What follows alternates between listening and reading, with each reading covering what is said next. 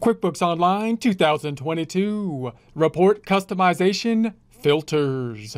Get ready because it's go time with QuickBooks Online 2022.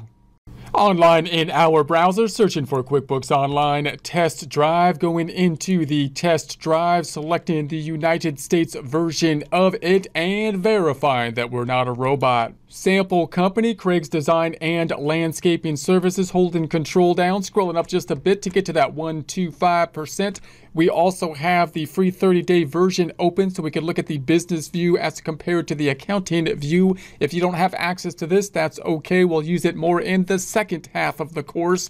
Going back on over to Craig's Design and Landscaping Services, we're going to be opening up a couple reports up top. Let's just open up two new tabs by going to the tab up top, right clicking on it, duplicating that tab, back to the tab to the left, right clicking on it and duplicating that tab. Before, while that is thinking, I'm going to go back on over to the other item for the free 30 day trial, which is in the business view, just to note that the reports are located in the business overview and then in the reports, then we'll be in the same area. Note that if you were to change the view to the accounting view, we'd have a similar view that we'll look at now, which is going to be on back to Craig's Design and Landscaping. So we're in the second tab. We're going to go to the reports down below. We're then going to go into the balance sheet, the balance sheet report. Scrolling up top, range change from 010121 to 1231 to 1 and run it. Close the hamburger and then go to the tab on the right. And then we're going to go down to the reports again. This time the P to the L, the profit and loss, the income statement.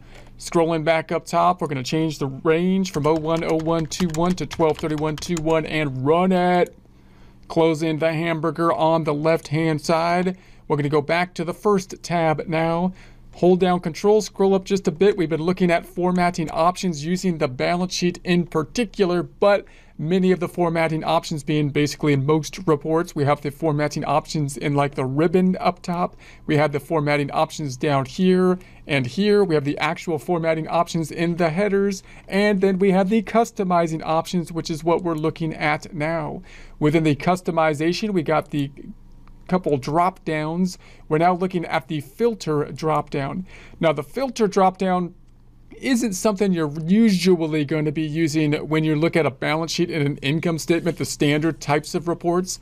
But when you get into the detail of those reports, then you might filter in on them. And some other reports, these filtering options could be quite common. So I'm going to close this back out and I'm going to go back down and say, well, what if I drill down, for example, on cash?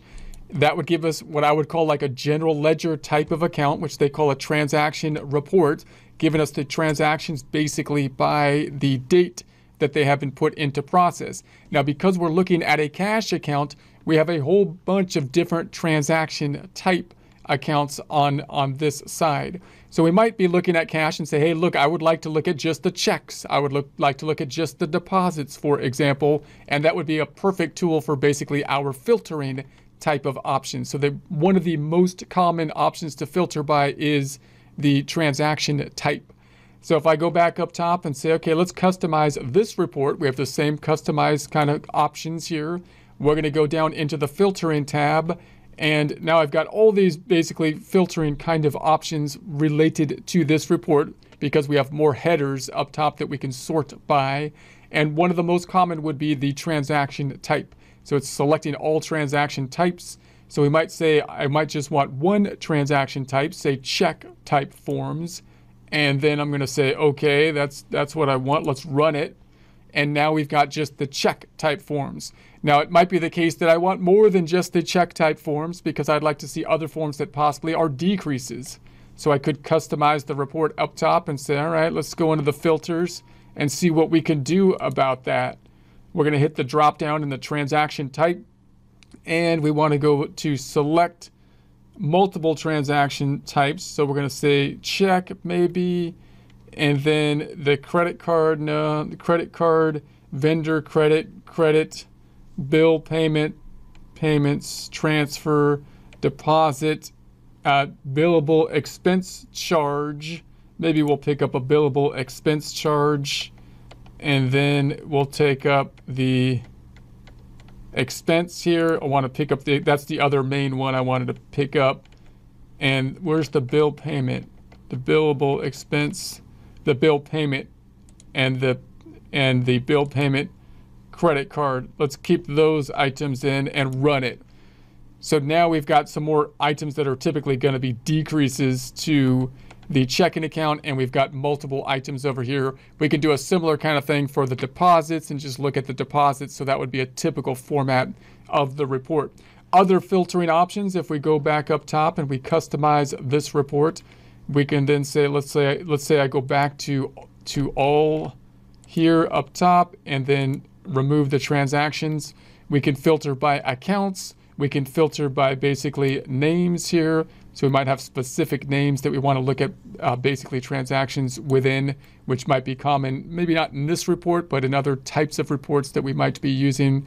We got the customer, the vendor, the employee, the product or service, the due date, the create, uh, the created date, the cleared accounts receivable print uh, check printed amount. We could search by actual amount which could be useful sometimes if we're looking for a specific area. Now i also just want to close this back out and look at some other common reports where you might be using filters more likely. Uh, if i go to the first tab and then go down to the reports again we go into the reports area and i'm going to go all the way down to like the accounting reports at the bottom go down to some of these accounting reports, uh, it's likely that if we're using, for example, a transaction list by date report, which is common if we're trying to see the kinds of transactions that have happened over a, a time frame, the activity that we have done, 01, 01, 21 to 12, 31, 21.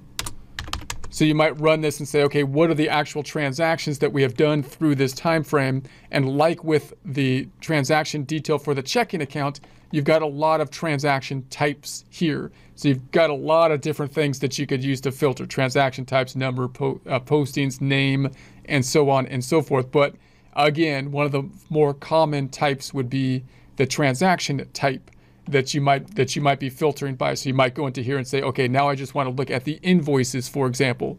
So you might go in here and say, okay, I'm going to select that item, customize it, and then go to the filters and say we're going to go to the transaction type as the filter, and possibly we want the invoice, for example, and then run run that, and now you've got all the transactions for that period that are that are invoices.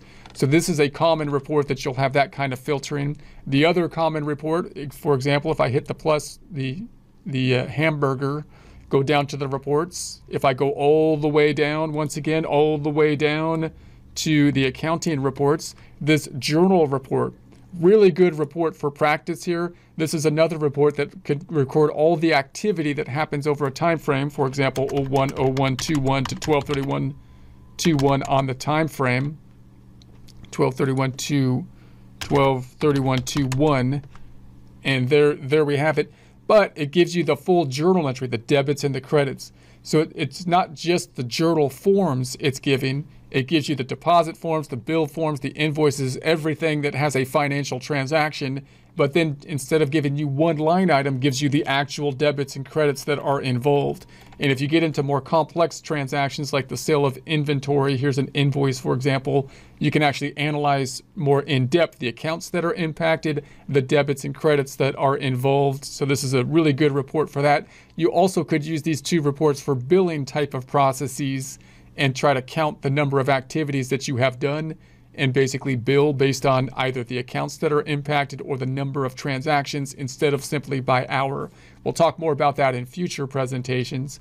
But then of course you can filter by by these types of transactions and if I if I use my customization up top and I filtered and say once again I want to filter by like the invoices because those are probably more complex kind of transactions. Now I've got all my invoices and you can see there's some more complex transactions here. If you wanted to, to look at this journal and look at, say, payroll transactions, which are often involving more than just two accounts, can be a little bit more complex, then you can drill down and look at the, the journal entries related to them.